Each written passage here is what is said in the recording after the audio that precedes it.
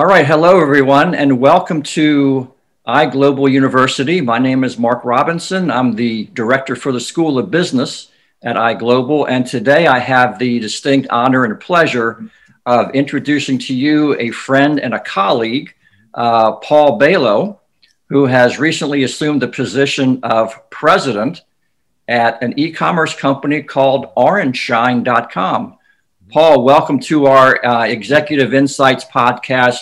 Great to have you on the inaugural uh, edition of this. it's great to be here, Mark. Yeah, good to see you, and it's uh, you know always happy. Good. Well, always I appreciate that. And you know, in, in, preparation for this, I was looking over your LinkedIn profile, mm-hmm. and as I was reading it, I thought, "Wow, this is like a a who's who of American corporations, right?"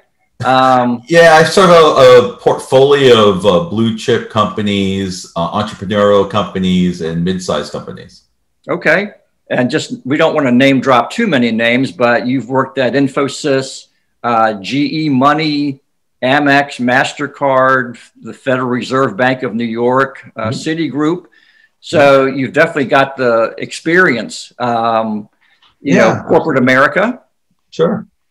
So yeah, I mean, it's a it's a various background. Uh, you know, so I love, you know, the, love the big companies, right? The blue chip uh, branding, the educational experience that I got there from a executive leadership perspective, uh, and then also the small mid-sized companies and then my own companies too.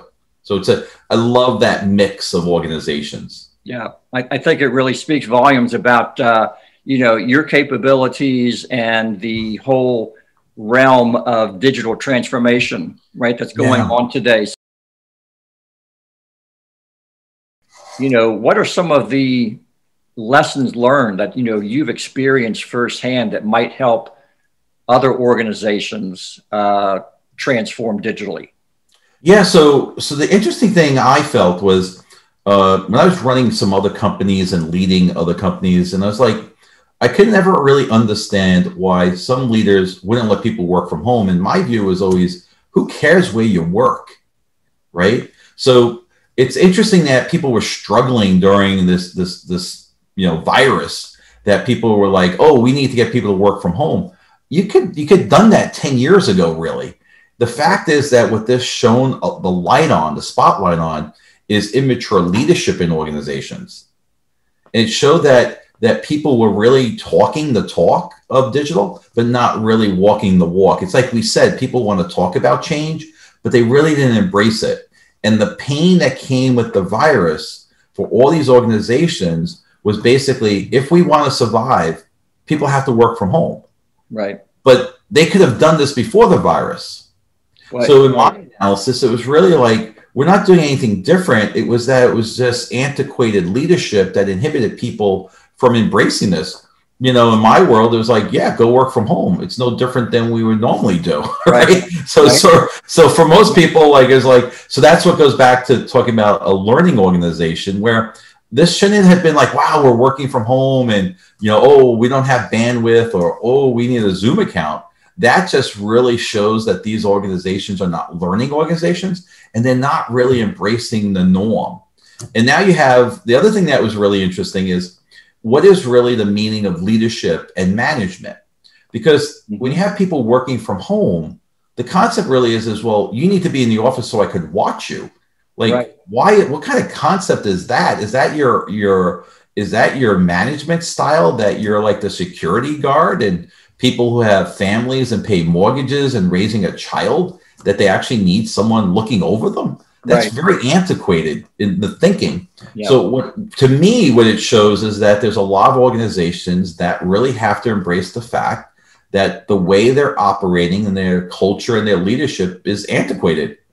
Um, and then you also really have to question the value of management because when people early on, even when you look at Google, Google had a 20% increase in their code production in the first two weeks when everyone worked from home which proves out that you really don't need managers. You just need people who can, who are, uh, you know, who you have their heart, minds, and souls in the organization, right. and they will do the right thing for you. They don't, you know, a manager is there to inspire, to mentor, to advise, to educate, to train. no different than like a professor, right? That you and I are, right? Yeah. So, so this idea of, of antiquated management style really came to fruition when the virus happened because the managers who managed by sight and not really instituting, inspiring their employees, they really just said, what are you really adding in terms of value as a manager?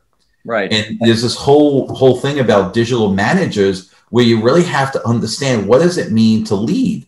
You know, my experience as a, as a C-level executive, I'm hoping I'm in in wherever I work and wherever I work that I'm in the heart, minds, and souls of the employees.